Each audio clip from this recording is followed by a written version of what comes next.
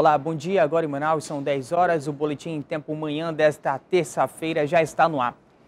Dois homicídios foram registrados ontem aqui na capital. Em um dos casos, um homem de 38 anos foi morto depois de ser agredido por um amigo. Segundo a polícia, foi depois de uma discussão por causa de dois reais. Juscelio Paiva tem os detalhes. Bom dia, Juscelio. Bom dia, foi isso mesmo. O caso mais recente ocorreu ontem à noite nessa área do Distrito Industrial 2, na zona leste aqui da capital, e vitimou um jovem de 21 anos, identificado como José Matheus Ventura. De acordo com policiais civis da Delegacia Especializada em Homicídios e Sequestros, o rapaz foi executado com quatro tiros, um na região da cabeça e mais três na altura do pescoço. De acordo com os policiais, o jovem era usuário de drogas e a suspeita é que o crime tenha sido relacionado a dívidas do tráfico de drogas. Também, por volta do meio-dia de ontem, um homem de 38 anos, identificado como José Márcio Souza Pacheco, ele foi morto depois de ser agredido por um amigo dele na área do Gilberto Mestrinho, também na zona leste de Manaus. De acordo com informações dos policiais civis da Delegacia Especializada em Homicídios e Sequestros, a vítima teria discutido com um amigo por causa de dois reais durante uma bebedeira e acabou sendo morto agredido. A delegacia especializada em homicídios e sequestros procura aí os suspeitos desses assassinatos. Eu volto com você aí no estúdio. Obrigado, Juscelio. E o feriado de Natal foi marcado por muita chuva aqui na capital e causou alguns estragos e acidentes. Na zona oeste, um homem caiu no Igarapé. Ele continua desaparecido. Na compensa, essa rua ficou totalmente alagada. A família do seu Hamilton acordou mais cedo e assustada. A água por pouco não invadiu o comércio dele. Os ônibus passando direto aqui, aí, aí que termina de alagar todos os ônibus.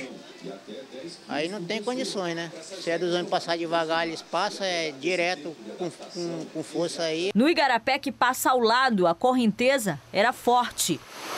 Foi nessa região que um homem caiu no Igarapé. Ele estaria bêbado, segundo os moradores da área, e foi arrastado pela força da água. O Corpo de Bombeiros começou as buscas pela manhã.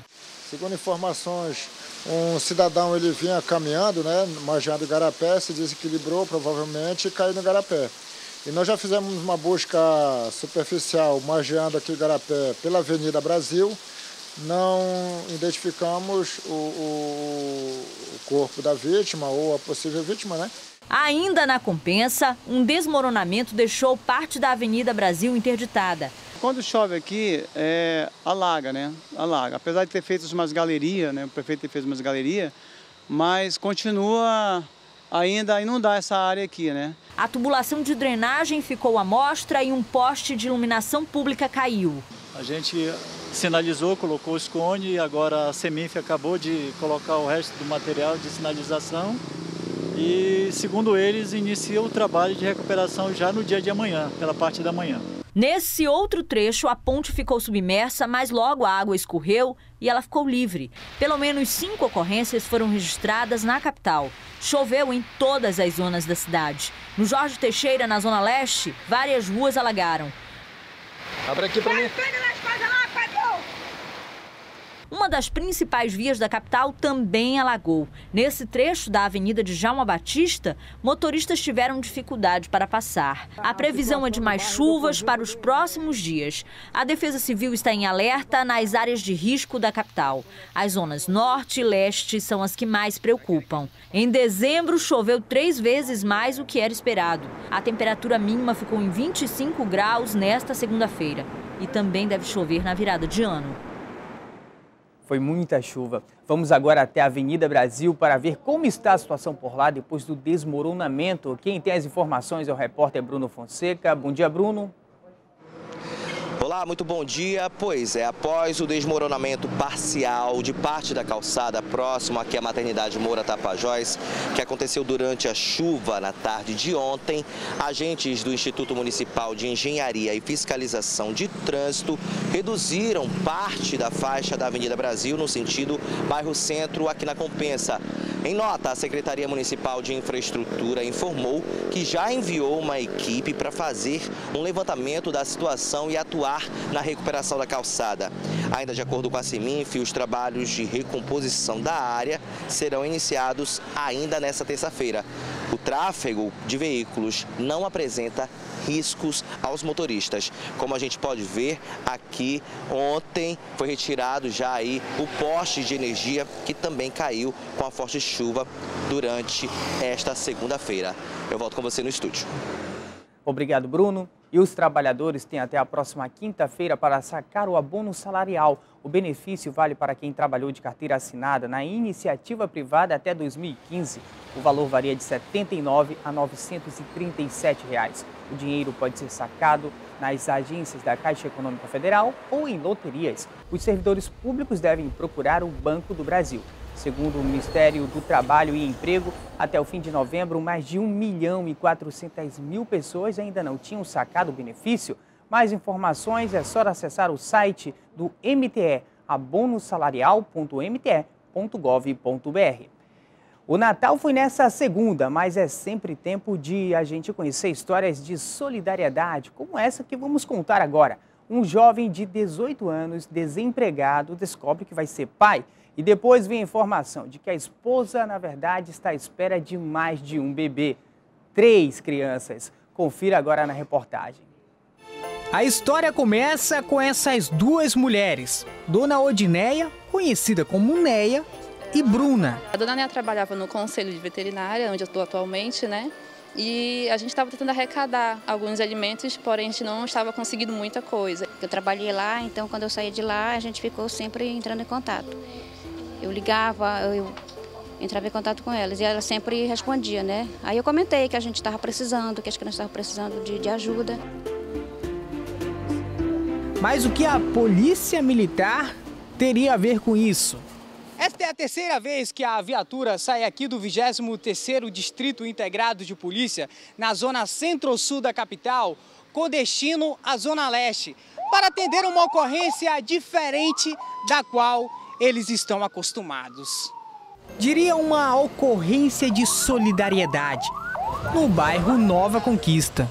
Eles trouxeram para essa família alimentos, roupas e brinquedos. Os PMs vieram parar aqui depois que Bruna falou sobre a situação difícil da dona Odineia para o soldado Albert. Mas um detalhe nessa história da família foi determinante para que os policiais se sensibilizassem.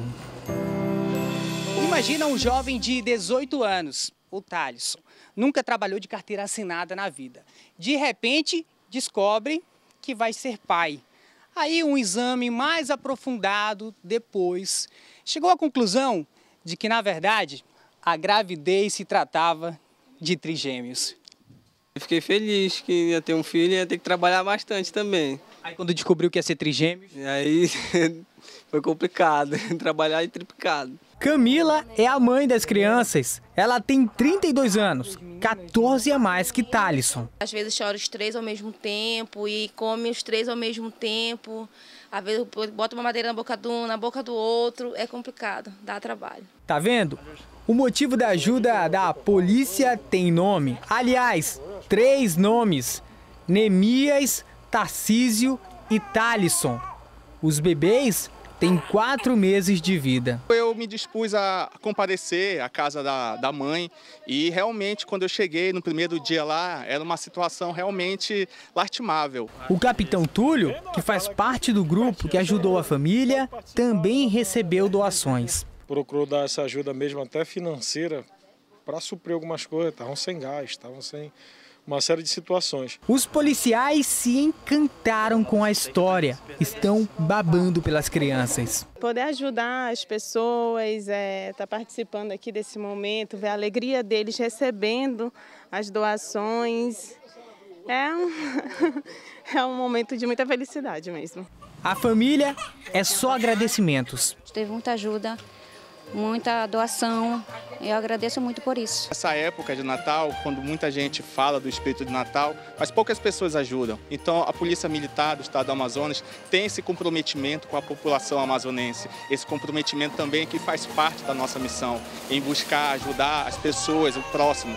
Que a atitude da PM inspire os corações nesta época que tem cheirinho de solidariedade.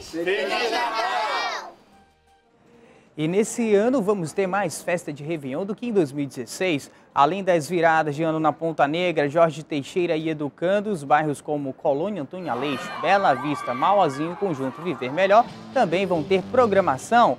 Vão se apresentar mais de 130 artistas e quatro atrações nacionais. Vai ter muita festa. O Boletim em Tempo Manhã de hoje fica por aqui. Outras notícias você acompanha a partir das 10h50 ao vivo no programa Agora. Um grande abraço e bom dia para você.